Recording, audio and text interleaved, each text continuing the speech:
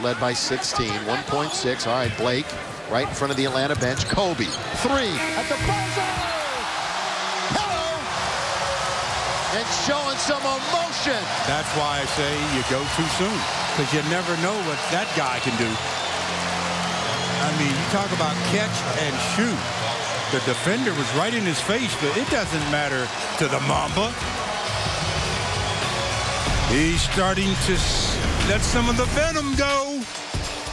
He's got 23 with that one. Catch, fire. You fired up, Kobe?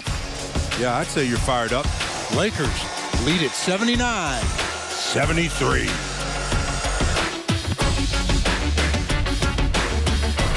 Here we go, quarter number four.